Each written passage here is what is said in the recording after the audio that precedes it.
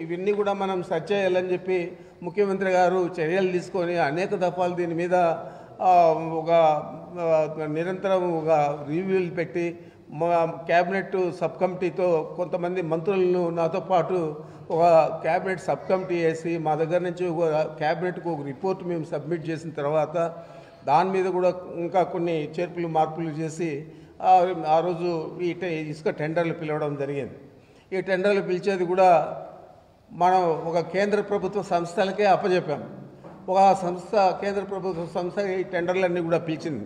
ఆ రోజు JP group అని మన రాష్ట్రానికి కూడా సంబంధం లేదు. వారు ఇక్కడ టెండర్లు తీసుకుంటే ఆ రోజు మేమేమన్నా రామోజీరావు గారిని లేకపోతే ఈనాడే కాదు మిగతా దుష్ట చతుర్శయం ఏదైతే ఉన్నారో వారందరూ కూడా ఆ టెండర్లో పార్టిసిపేట్ చేస్తుంటే కూడా ప్రభుత్వం చేసేది ఏం లేదు. మరి మీరు పార్టిసిపేట్ చేయకుండా వారు చేస్తే దాని తప్పులు పడుతూ మరి కాంట్రాక్ట్ అంటే ఏ కాంట్రాక్ట్ అగ్రిమెంట్లో అయినా కూడా సబ్ కాంట్రాక్టు ఇచ్చుకోవచ్చు అనే క్లాజ్ ఉంటుంది.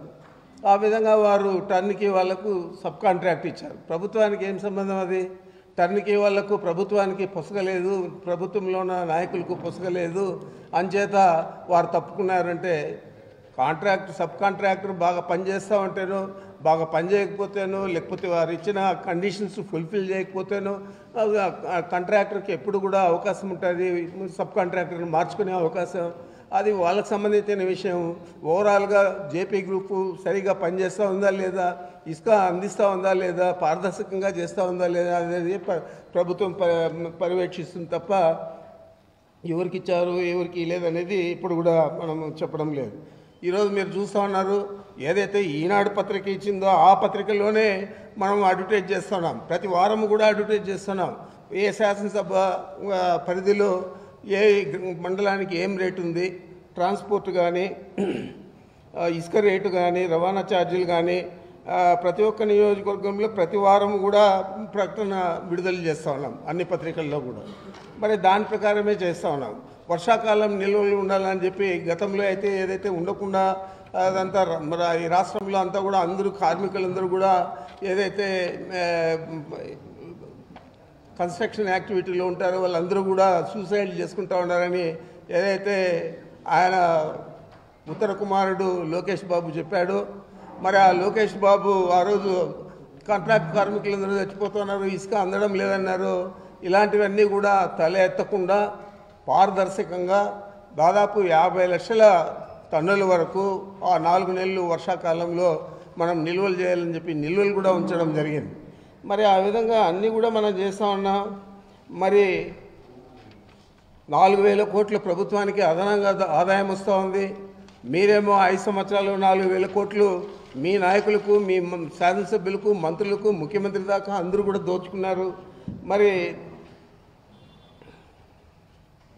మొన్నటిదాకా చెప్పారు టర్న్కి ఇచ్చారు ఈ సంస్థ మొత్తం దోచేస్తూ ఉంది.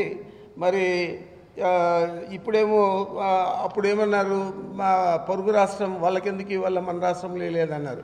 ఇప్పుడేమంటా ఉన్నారు మన రాష్ట్రంలో ఎందుకు ఇస్తా ఉన్నారు అది టర్న్కి ప్రాజెక్ట్ సంస్థను తీసేసి అంటా ఉన్నారు.